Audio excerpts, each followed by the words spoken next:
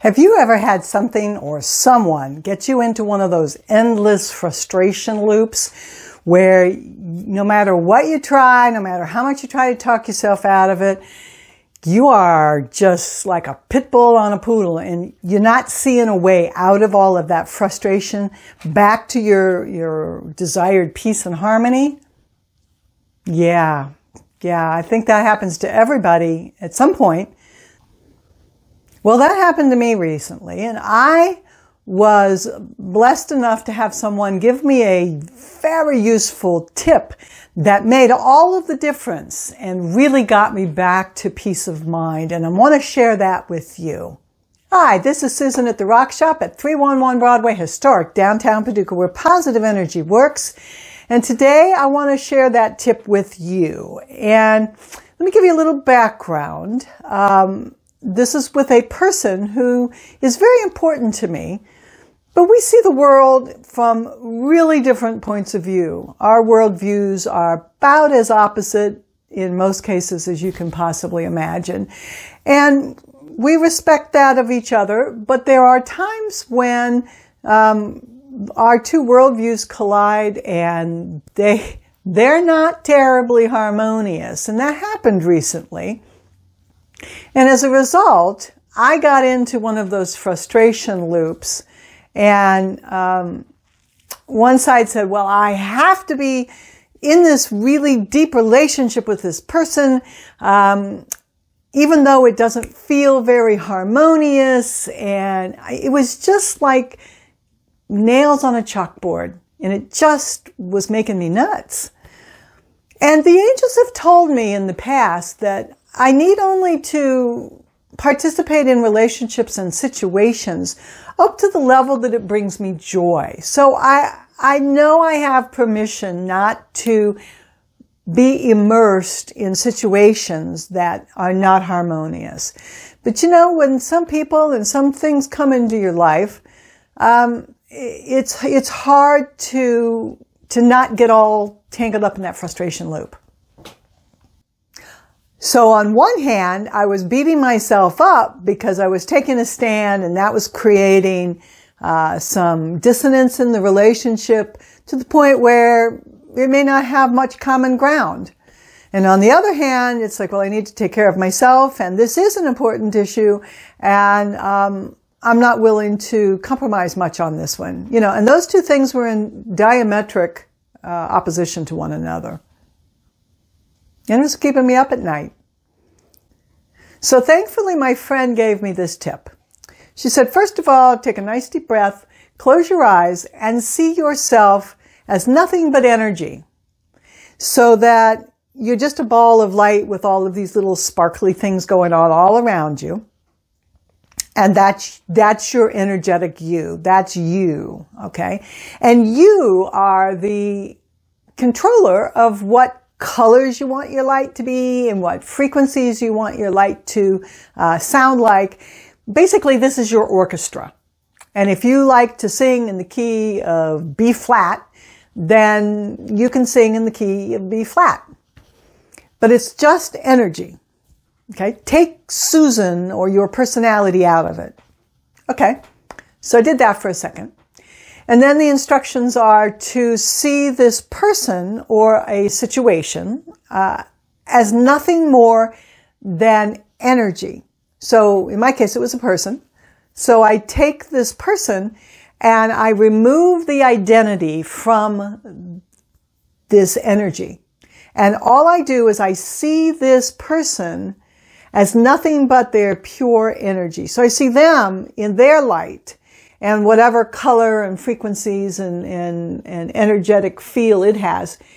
It's not the person, it's just their energy. So there's no ego or personality attached to it. Okay. Took a minute, but I got there. So then the next part of the exercise is does this ball of energy and its frequency and its light, is it harmonious and benefit your frequency and your harmony and your light. And if it does, then you can commingle those energies. If it doesn't, then those energies are going to clash and compete. And because we all get to choose what color and what frequencies we want to resonate with, it's perfectly acceptable not to bring that energy into your inner circle. This isn't news. I know this. But that exercise really made a big difference for me. In case you don't like to talk about energetic beings, okay, let's flesh this out in a slightly different way.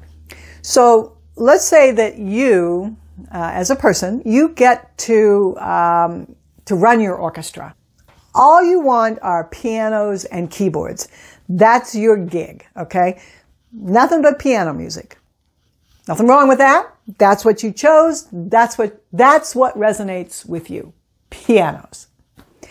And there's someone over there who is playing a kazoo. Nothing wrong with kazoos. That's great. But they are really an important person to you and they're like, Hey, I want to sit in on your orchestra and I want to play kazoo. Now the problem is they don't, they don't play keyboards. They don't, it's a kazoo. Not that there's anything wrong with kazoos. It's just that you want to play pianos. Nothing against the person. Nothing against the kazoo. It just doesn't match up with what you want to resonate at. Okay? It's just not harmonious. It doesn't fit in your orchestra.